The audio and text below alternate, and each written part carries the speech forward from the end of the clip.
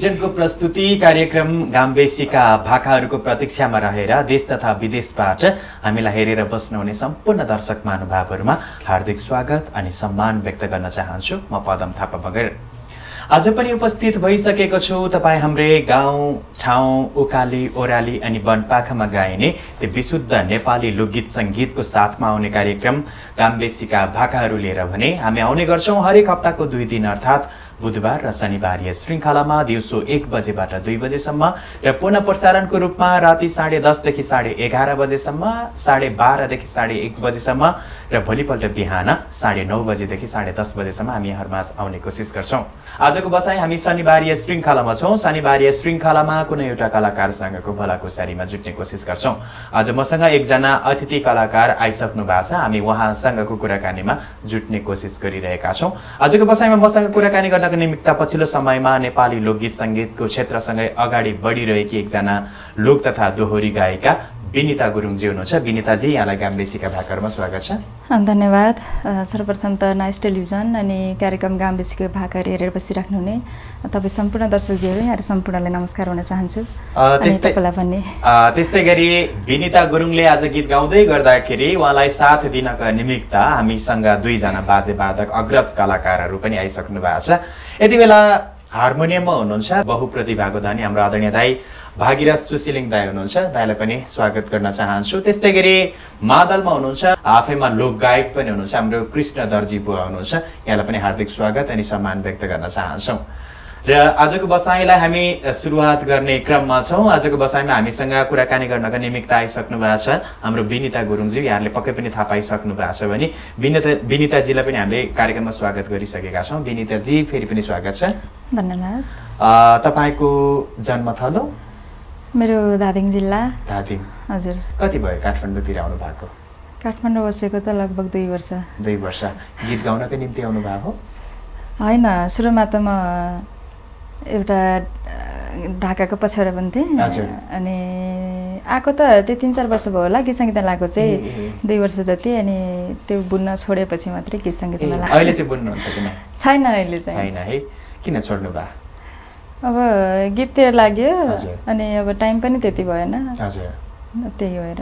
कति वर्ष बुन्नुभयो ढाकाको पछ्यौरा? मैले दुई वर्ष जति बुने। काठमाडौँमा। काठमाडौँमै एक वर्ष जति दिदीकोमा बुने पछि आफैले नै मेसिन किनेर बुनेको। कस्तो थियो फाइदा यताउति? फाइदा त हुन्थ्यो। अब जति धेरै दुःख गरे त्यति नै हुन्थ्यो त्यसमा। अनि हुन्थ्यो। अहिले चाहिँ चटक्कै छोडेर गीत छोडेर गीततिर लाग्यो। भनेपछि ढाकाको पछ्यौरा बुन्दाखेरि भन्दा गीत गाउँदाखेरि फाइदा हो। फाइदा त पछ्यौरा बुन्दै फाइदा भइरहेको थियो मलाई त। अब काम चलिरहन्थ्यो दुःख पनि भइरहन्थ्यो काम पनि चलिरहेको अनि पैसा पनि भइरहन्थ्यो। अनि गीत सङ्गीतमा नै ठिक ठिकै भइरहेको हजुर। दुई वर्ष बिताइसक्नुभयो नेपाली लोकगीत सङ्गीतको क्षेत्रमा। हजुर। पहिला चाहिँ गाउँघरतिर गीतहरू गाइन्थ्यो। गाउँमा त गाइन्थ्यो। धेरै नै गाउनुभयो। गाउँमा त अब अलिकति मेलाहरू बिहे व्रतबन्ध पऱ्यो भने हजुर। गाइन्थ्यो मजाले है? भनेपछि गाउँतिर यसो मेलाहरू व्रतबन्ध हुँदाखेरि गाउनुहुन्थ्यो पूजाहरूमा पनि गाउनुहुन्थ्यो। स्कुलमा चाहिँ गाउनुभयो कि नै? स्कुलमा चाहिँ गाएन डर लाग्थ्यो सानै थियो। सानो हुँदाखेरि गाएन ठुलो भएपछि त्यस्तै भयो गाएन स्कुलतिर प्रतियोगिताहरूमा भिड्नुहुन्थ्यो कि नै? छैन है? पहिला भिड्नु भएन। पछिल्लो समयमा? पछि पनि भिडेन म त। गाउँमा हाम्रो गाउँमा अब खासै त्यो प्रतियोगिताहरू खासै भएन पनि। अनि त्यस्तै त्यही गाउँतिरै गाइन्थ्यो त्यत्तिकै त्यत्तिकै अनि दोहोरी प्रत्यक्ष दोहोरी चाहिँ गाउनुहुन्छ दोहोरी त गाउँछु गाउनुहुन्छ अरू के के गर्नु भएको छ अहिले चाहिँ अहिले छैन केही पनि गरेन है दोहोरी नै दोहोरी गर्छु त्यही नै हो दोहोरी भने मतलब के दोहोरी साँझमा काम दोहोरी साँझमा पनि गर्छु हजुर दोहोरी साँझ चाहिँ कुन चाहिँ दोहोरी साँझमा काम गर्नुहुन्छ मैले अहिले फेवामा एक्कासी अहिले दोहोरीमा आएर काम गर्दाखेरि होइन गाह्रो सजिलो कस्तो भयो तपाईँलाई सुरुमा त गाह्रो नै भयो हजुर अब त्यो नयाँ ठाउँमा त्यही माथि पनि गाउँमा अब सबै आफूले चिनाएको दाजुभाइ दिदीबहिनी आमा बाउको बिचमा बसेर गाउनु त त्यति सजिलो त हुँदैन। यहाँ अब माइक समाएर गाउनु पर्यो। त्यही माथि नचिनाएको मान्छेहरू गाह्रो। सुरुमा त धेरै गाह्रो भयो। अहिले चाहिँ सजिलो भइरहेको कसको प्रेरणाबाट तपाईँ यो क्षेत्रमा लाग्नुभयो विशेष गरी? मेरो त सुरुमै आमा बुवा सबैजनाले गीत गाउनुहुन्थ्यो। अनि बुवाले पनि पहिल्यैदेखि गीत गाउनुहुन्थ्यो अनि पछि मैले गाउन थालेपछि मात्रै बुवाले छोड्नु भएको ए हजुर हजुर। अनि अझै के अरे अरू बेलामा त गाउनुहुन्थ्यो अनि हामी गाठामा चाहिँ गाउनुहुने थिएन बुवाले। अनि आमाले पनि गाउनुहुन्छ। अनि अनि मेरो पनि अब सानैदेखिको गीत गाउने गायिका बन्ने भनेर एकदम ठुलो धोको। हजुर। अनि त्यही भएर गीततिरै लाग्यो। अहिले बाबा मम्मीले चाहिँ गाउनुहुन्न? बाबा चाहिँ हुनुहुन्न ए अहिले बाबा हुनुहुन्न? मम्मी हुनुहुन्छ। मम्मी मम्मी चाहिँ कहाँ हुनुहुन्छ? गाउनुहुन्छ कहिले काहीँ? गाउँमा अहिले पनि गाउनुहुन्छ। गाउँमै हुनुहुन्छ। को को हुनुहुन्छ परिवारमा चाहिँ? मेरो दाई अनि आमा भाउजू हुनुहुन्छ। हजुर। अनि भाउजू बजारतिर आमा एक्लै हुनुहुन्छ गाउँतिर चाहिँ। हजुर। भनेपछि दाई र तपाईँ? हजुर। दिदीहरू हुनुहुन्छ। बिहे भइसक्नुभयो। बिहा भइसक्नुभयो। दिदीहरूको। तपाईँको चाहिँ? मेरो पनि भइसक्यो। भइसक्नुभयो। कति भयो विवाह भएको चाहिँ? भयो दुई वर्ष तिन वर्ष जति भयो। एउटा पारिवारिक बन्धनमा बाँधिसके पछाडि कलाकारिता क्षेत्रमा लाग्दाखेरि कतिपयलाई चाहिँ निकै गाह्रो हुने गर्छ। तपाईँलाई चाहिँ त्यस्तो गाह्रो भएको छ कि छैन? ठिकै छ। हजुर। भनेपछि घर परिवारबाट राम्रो साथ सपोर्ट रहेको छ। ठिक ठिकै भइरहेछ। एल्बमहरू चाहिँ गरिराख्नु भएको छ? एल्बम मैले सुरुमा चाहिँ गोर्खा मनकामना गरेँ हो। गोर्खा मन कामना। अँ, आफैले त पछि त सबै अरूको गीतहरू गाएँ। हजुर। गोर्खा चाहिँ मन गरेँ। कामना चाहिँ कसले गाउनु भएको छ? त्यो बिरु लामा र मैले गाएको गणेश दारीले शब्द लेख्नु भएको छ। राजेश दाईको लय। पुरानो गीत हो सबैजना सुन्नु भने पछाडि पुरानो गीतलाई फेरि पछि। रिरेकर्ड गर्दाखेरि तपाईँले आवाज दिनुभएको छ। पहिलो गीत तपाईँको। कस्तो अनुभव रह्यो? सुरुमा त अब स्टुडियोमा त धेरै डर लागेको थियो नि। गायो सजिलैसँग गाएँ सजिलैसँग। गाउनु। गाह्रो चाहिँ भएन। त्योभन्दा अगाडि जस्तै स्टुडियोमा नगाउने मान्छेलाई त गाह्रो हुन्छ नि त तर तपाईँलाई त्यस्तो भएन मलाई? चाहिँ। मैले चाहिँ हामीले राति नौ बजीतिरै रेकर्ड गरेको थियो गीत पनि। हजुर। अनि सजिलै भयो। छिटै नै भ्याएको। अब गोर्खा मनकामना झ्याप्पै मायालाई हालौँ भने नि ठिक छैन जमाना। यो गीत त पहिला पनि चलेको होइन? हजुर। त्यस पछाडि तपाईँले रिरेकर्ड गर्नुभयो होइन? रिरेकर्ड गरिसके पछाडि दर्शक श्रोताहरूको माया कस्तो रह्यो? अब धेरै ठाउँमा चाहिँ पहिलाको भन्दा पनि पछिको चल्यो हो भन्ने कुरा। हुन्छ हाम्रोमा चाहिँ पहिला नै सुनेको गीत हो हामीले चाहिँ। अनि त्यसमा त्यो भिडियो नभएको कारणले गर्दाखेरि चाहिँ भिडियो गरेर फेरि गरौँ भनेर गऱ्यो हो। अनि अब अलि टाढो टाढो चाहिँ सुनेको छैन भन्ने कुराहरू चाहिँ धेरै। छ बाहिरबाट चाहिँ हाम्रोतिर। चाहिँ सुनेको गीत हो पछि पछि भन्नेहरू चाहिँ धेरैले चाहिँ अब तपाईँको गीत धेरै राम्रोसँग चल्यो यस्तो उस्तो भन्नुहुन्छ हजुर एउटा राम्रै चलिसकेको गीत होइन फेरि पनि अब रिरेकर्ड गर्दाखेरि तपाईँले गाउन पाउनुभयो त्यो पनि पहिलो पटक होइन भन- पछाडि तपाईँ भाग्यमानी हुनुहुँदो रहेछ होइन राम्रो मलाई फेरि। त्यतिखेर खासै त्यति गीत सङ्गीतमा त्यति बुझेर त होइन र मेरो गायिका भन्ने गीत। गाउने त अनि बिरलामा दाईले चाहिँ गीत गीत गरौँ भनेर कुरा गरेको थिएँ मैले। अनि पहिला पनि उहाँले गाउनु भएको। अनि पछि फेरि अब यसलाई नै गरौँ। भिडियो छैन अडियो मात्रै हो। अनि भिडियो गरेर राम्रोसँग गरौँ भन्नुभयो। अनि ठिकै छ उनीहरू त हामीभन्दा अलिकति अग्रज मान्छे। उनीहरू त बुझेको मान्छे हो नि त त्यही भएर अनि हुन्छ भनेर त्यही नै गरेँ। पहिला पनि बिरु लामाले नै गाउनु भएको थियो। पछि पनि उहाँले नै गाउनुभयो। महिला आवाजमा पहिला विष्णु भएको। माझीले गाउनु भएको थियो। पछि विष्णु माझीले गाएको ठाउँमा तपाईँले गाउनुभयो है। भनेपछि तपाईँ भाग्यमानी हुनुहुँदो रहेछ। तपाईँको त्यो पहिलो गीत पछाडि अहिलेसम्म आइपुग्दाखेरि कतिवटा गीत चाहिँ रेकर्ड गर्नुभयो? मैले सात आठवटा गाएँ लागि कस्तो कस्तो खालको गीतहरू रहेका छन्? गीत सबै कोही स्लो गीतहरू छ। अनि कोही यस्तै हो अब सालाजी गीत भर्खरै एउटा अब के अरे भिडियो हुँदैछ। त्यही नै हो। भनेपछि स्लो गीतहरू सालैचो। रहेको छ दोहोरी गीतहरू होइन? पनि। अब यो सात आठवटा गीत मध्येबाट यति बेला हाम्रो दर्शक श्रोताहरूलाई एउटा गीत सुनाउनु पर्यो भने कुन चाहिँ गीत सुनाउनुहुन्छ? मैले एक वर्ष अगाडि गाएको एउटा गीत थियो दिपक राणाको। हजुर। अनि गुल्मी तम्गा श्रीसँगको फेद गुल्मीको गाएको उहाँ हजुर। अनि उहाँको गीत गाएको थिएँ म त्यही नै सुनाउँछु। हुन्छ यति बेला हामी तपाईँको आवाजमा सोही गीत सुन्छौँ हाम्रो दर्शकहरूको लागि राख्छौँ। त्यस पछाडि हामी कुराकानीलाई जोड्नेछौँ। अहिलेको लागि एउटा लोक भाका हाम्रो आजको अतिथि कलाकार विनिता गुरुङको आवाजमा।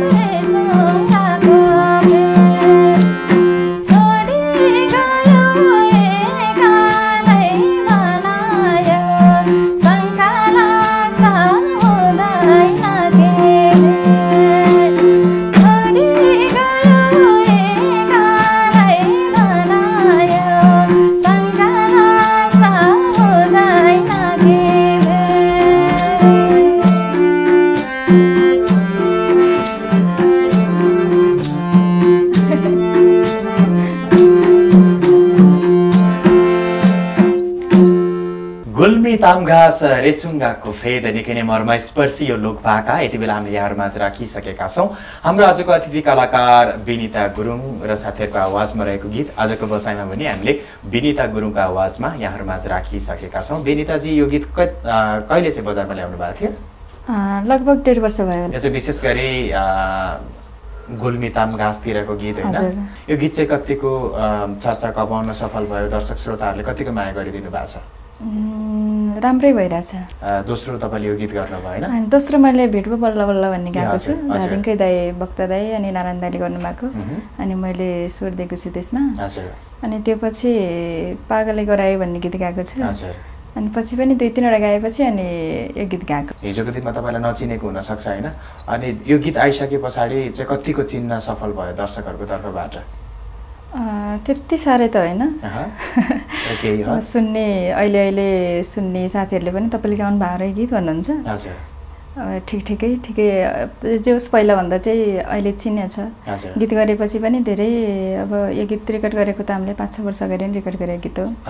अनि त्यसपछि म फेरि गाउँतिर गएर बसेँ तपाईँ पहिला रेकर्ड गरेर फेरि बिचमा गाउँ गएर बस्नु हजुर। अनि पछि अहिले आएर जे होस् दोहोरीतिर लागेपछि मात्रै चिन्नुभयो। अनि अलिअलि प्रोग्रामहरू त्यही भएर त्यही त्यति नै हो चिन्नेको त नत्र त खासै त्यति धेरै चर्चा त होइन। गीत चल्यो। हजुर। अब गीत धेरैले सुन्यो। जति गीत जतिले गीत सुन्नुभयो त्यतिले मलाई चिन्नु उहाँहरूले चिन्नु भएन होइन। भनेपछि अहिले पनि हुन्छ कि अब गोर्खा मनकामना गीत गाएको तपाईँले हो भनेर अझै पनि मान्छेहरू कन्फ्युज हुन्छन् होइन।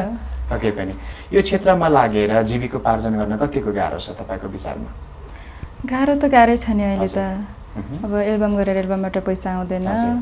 अब दोहोरी गरेछ त्यो दोहोरीबाट अलिअलि आएको पैसा त्यही नै हो जस्तै पहिला। पहिला पहिला पहिला त एल्बम निकाल्दाखेरि अडियो मात्रै हुन्थ्यो होइन भिडियो। गर्नु पर्दैन त्यसैमाथि पनि अडियोको चक्काहरू बिक्थ्यो होइन त्यो बिक्थ्यो। चक्काहरूबाट पनि राम्रै आम्दानी हुन्थ्यो तर अहिले त अब भिडियो नबनाइ नहुने हुन्छ होइन धेरै खर्च। हुन्छ भिडियो बनाइसके पछाडि होइन अब खासै आम्दानी हुँदैन होइन कसरी चाहिँ जस्तै यो आफूले गरेको लगानी चाहिँ कसरी उठाउन सकिन्छ एउटा कलाकारले गीत सङ्गीतमा लगानी गरेर। अब राम्रो गीत राम्रो भयो भने त प्रोग्रामतिर गएर।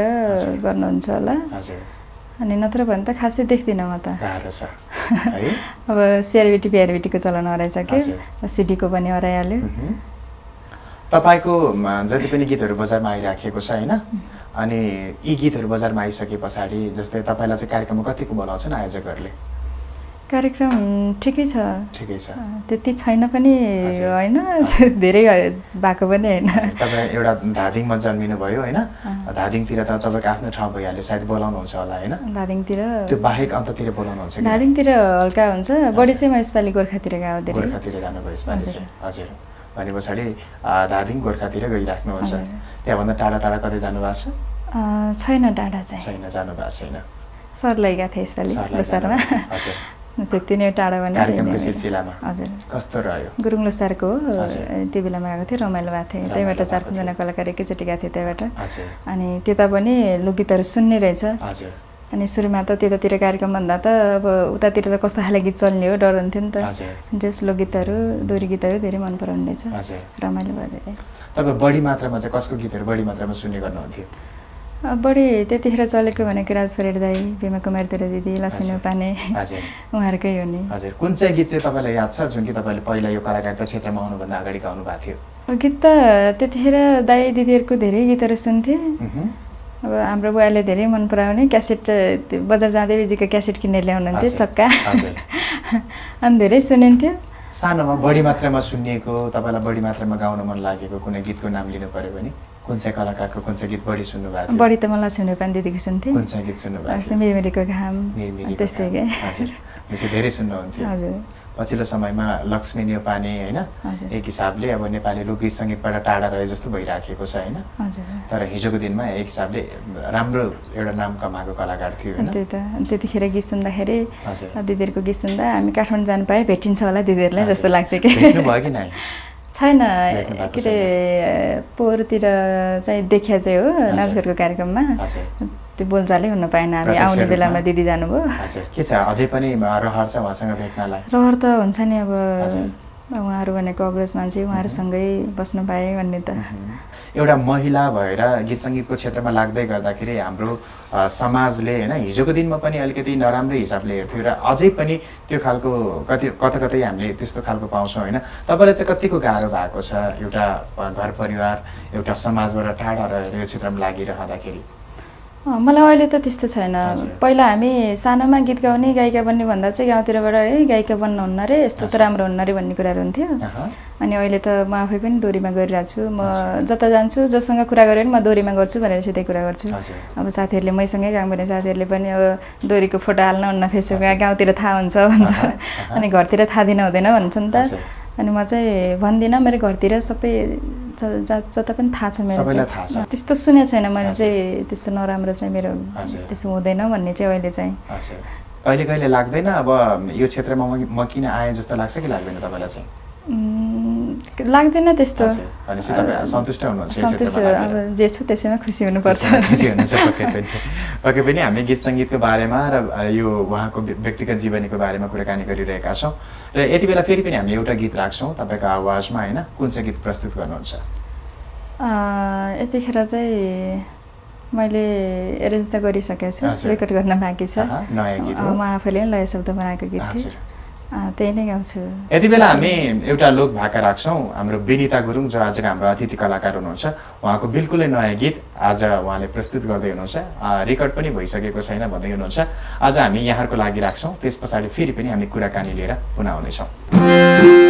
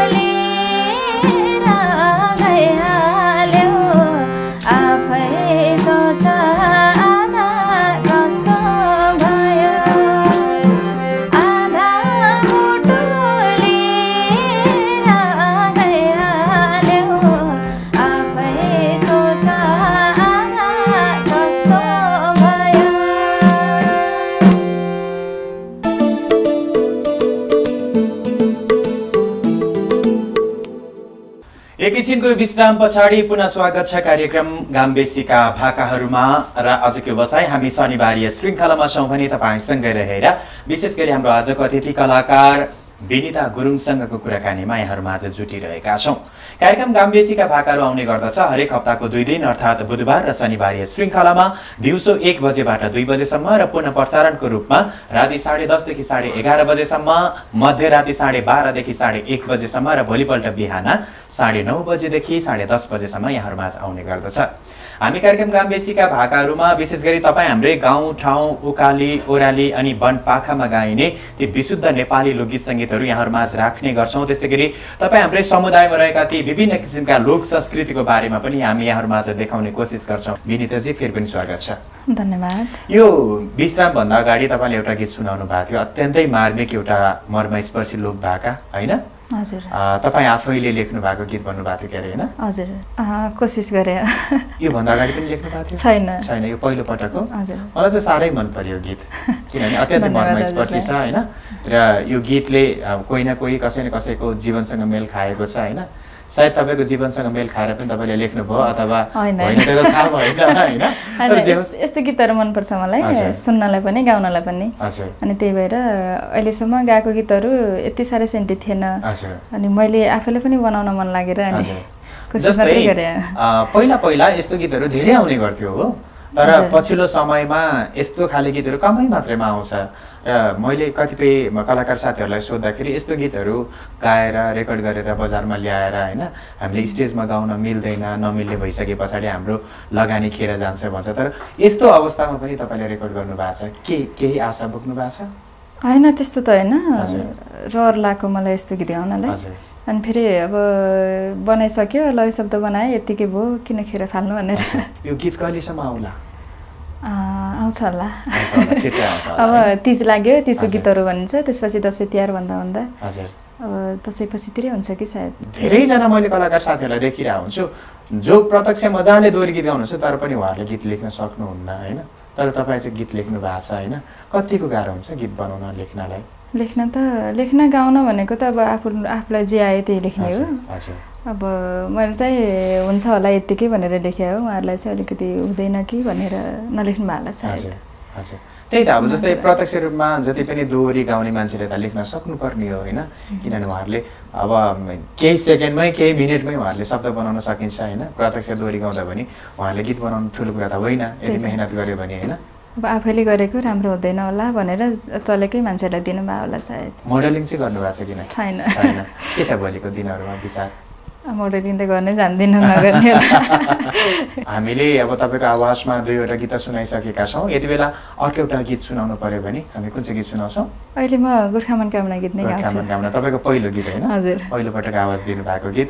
जसले गर्दाखेरि तपाईँलाई धेरै धेरैलाई चाहिँ चिनाउन सफल पनि भएको थियो। धेरै सामु होइन तपाईँलाई चाहिँ चिनाउन सफल पनि भएको थियो। सो गीत प्रस्तुत गर्नु जतिजनाले चिन्नुभयो त्यही गीतको कारणले चिन्नु भएको हजुर हो नि त पक्कै पनि होइन। यति बेला हामी राख्छौँ आजको अतिथि कलाकार बेनिता गुरुङ र बिरु लामा होइन? बिरु लामाले गाउनुभएको गीत। हुन त उहाँहरूले पछि रेकर्ड फेरि रिरेकर्ड गर्नुभएको थियो। योभन्दा अगाडि पनि अडियोको रूपमा बजारमा आएको थियो। पछाडि उहाँले फेरि रिरेकर्ड गर्नुभएको छ। सोही गीत हामी यति बेला राख्छौँ त्यस पछाडि लगत्तै फेरि हामी कुराकानी लिएर पुनः आउनेछौँ।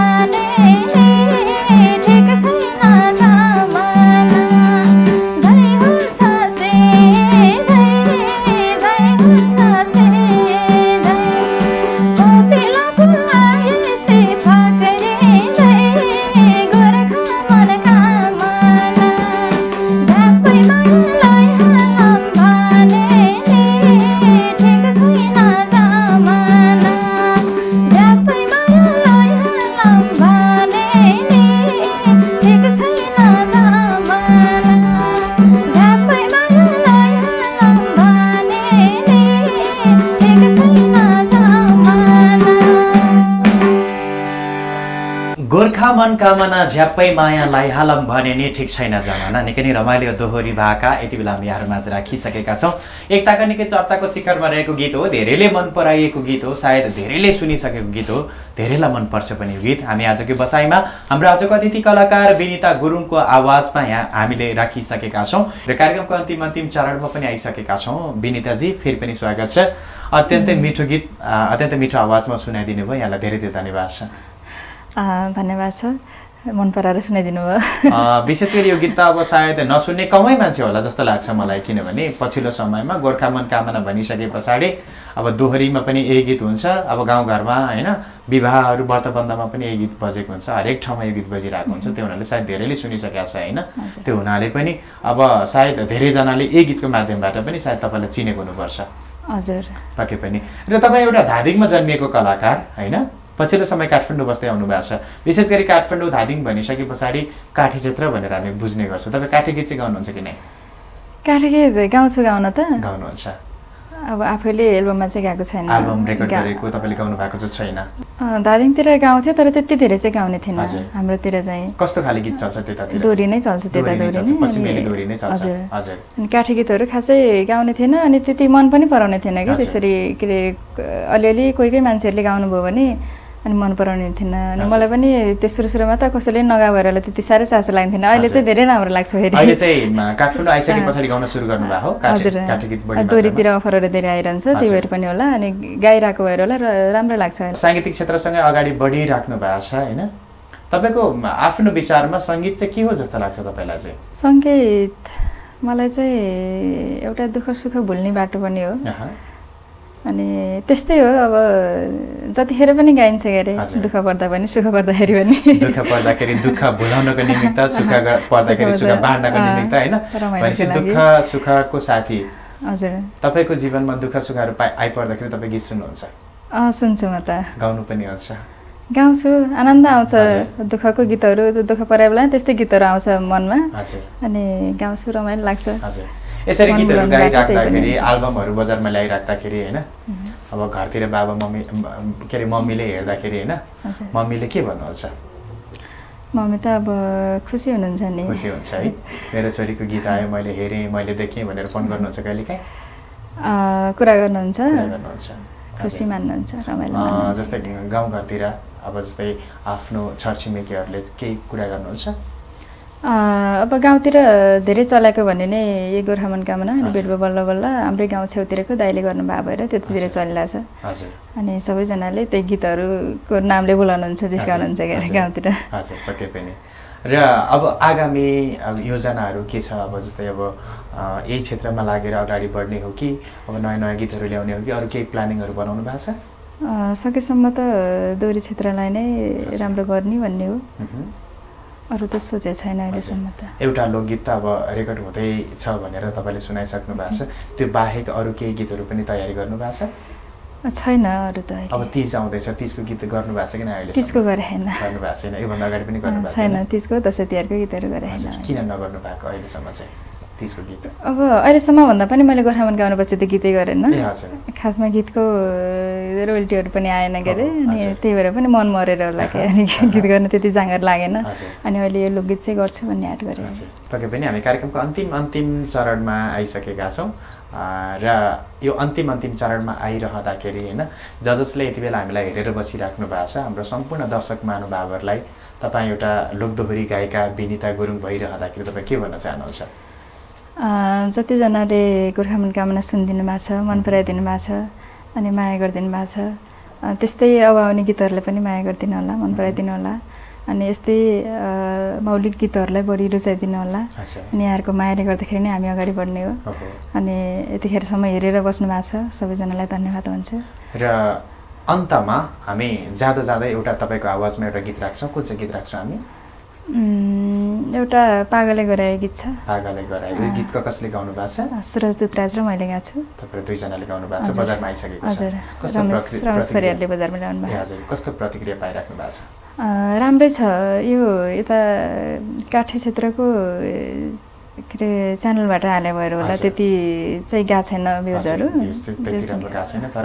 राम्रो छ। पक्कै पनि अन्तमा यो गीत सुनाउन चाहनुहुन्छ। पक्कै पनि हामी यो गीत लगत्तै कार्यक्रमबाट बिदा पनि हुनेछौँ र आजकै बसाइसम्म आइदिनु भयो र तपाईँको आफ्नो व्यक्तिगत जीवनी र साङ्गीतिक यात्राको बारेमा कुराकानी गरिदिनु भयो। विनिताजी हाम्रो तर्फबाट पनि यहाँलाई धेरै धेरै धन्यवाद छ। हजुरलाई पनि धन्यवाद। यहाँसम्म आएर आफ्नो मनको केही कुराहरू राख्ने मौका दिनुभएको छ। तपाईँ अनि नाइस टेलिभिजनको टेलिभिजन अनि कार्यक्रम गाम बेसीका भाका सबैजनालाई धन्यवाद सबैलाई धन्यवाद भन्न चाहन्छु। अनि हाम्रो वाद्यवादनमा बस्ने दाईहरू हुनुहुन्छ। सबैजनालाई धन्यवाद भन्न चाहन्छु। सबैजनालाई नमस्ते भन्न चाहन्छु। हस् धेरै धेरै धन्यवाद छ। त्यस्तै गरी विनिताजीले गाउँदै गर्दाखेरि उहाँलाई साथ दिनुहुने हाम्रो अग्रज द्वय हाम्रो वाद्यवादक दाईहरू हाम्रो वाद्यवादनमा रहेर साथ दिनुहुने हाम्रो अग्रज द्वय दाईहरू हाम्रो भागीरथ सुशीलिङ मगर दाई त्यसै गरी हाम्रो कृष्णधरजी बुवालाई पनि धेरै धेरै धन्यवाद अनि आभार प्रकट गर्न चाहन्छौँ। जाँदा जाँदै हाम्रो आजको अतिथि कलाकार विनिता गुरुङको आवाजसँगै एउटा गीत यहाँहरू माझ राख्दै आजको बसाइबाट म पदम थापा मगर पनि बिदा हुन चाहन्छु। नमस्कार।